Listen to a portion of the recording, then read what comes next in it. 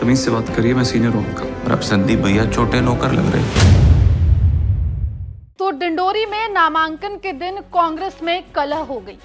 वो प्रत्याशी जो मांग कर रहे थे टिकट की, उन्होंने निर्दलीय ही अपना फॉर्म भर दिया है। और अब कांग्रेस के ही नेता को, कांग्रेस के ही प्रत्याशी को टक्कर देते हुए दिखाई देंगे। किसकी हम बात करें, पूरा मामला क्या है? विस्तार से आपको इस रिपोर्ट में बताएँगे। नमस्कार, आप देख रहे हैं एमपी तक और मैं हूँ आपके साथ आकांक्षा ठाकुर। मध्य प्रदेश में विधानसभा चुनाव के लिए नामांकन की अंतिम तिथि के दिन काफ़ी बगावत देखने को मिली। कई पार्टी नेताओं ने पार्टी छोड़ दी, निर्दलीय ही अपना चुनावी फॉर्म भर दिया।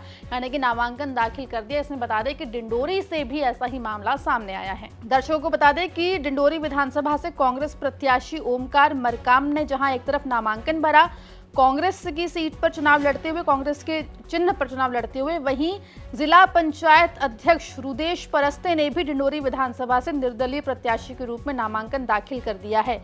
आपको बता दें कि रुदेश परस्ते लगातार टिकट की मांग कर रहे थे, लेकिन उनको टिकट नहीं मिली। ऐसे में कांग्रेस से बगावत करके अब रुदेश परस्ते ओमकार मरकाम के खिलाफ चुनावी मैदान में उतरे हैं। निर्दलीय ही मैं जिला पंचायत सदस्य का चुनाव लड़कर जिला पंचायत अध्यक्ष बना तो फिर कांग्रेस का नाम रोशन किया और कांग्रेस का झंडा उठाया।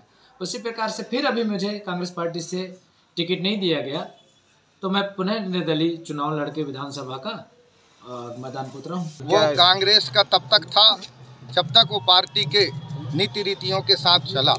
आप स्वयं बता रहे हैं कि वो निर्दलीय फार्म भर चुका है इसलिए वो कांग्रेस का अब नहीं है और वो निर्दलीय है। आपको बता दें कि डिंडोरी में मुकाबला काफ़ी दिलचस्प होगा एक तरफ़ जहाँ कांग्रेस प्रत्याशी ओमकार मरकाम है वहीं कांग्रेस से ही बागी हुए रूपेश परस्ते अब ओमकार मरकाम को यहाँ पर चुनौती देते हुए दिखाई देंगे। देखना होगा कि आखिर जनता किसे चुनती है लेकिन फ़िलहाल बता दें कि नामांकन के अंतिम दिन कई बगावती नेताओं ने बागी हुए नेताओं ने नामांकन दाखिल किया है। अपनी ही पार्टी के प्रत्याशियों के खिलाफ मोर्चा खोलते हुए दिखाई दिए हैं। हालाँकि डिंडोरी का रिज़ल्ट क्या होगा, ये तो जनता तय करेगी, लेकिन फ़िलहाल कांग्रेस इस बगावत से कैसे निपटती है, ये देखना होगा। खबर डिंडोरी से भेजी है सहयोगी डेविड सूर्या ने।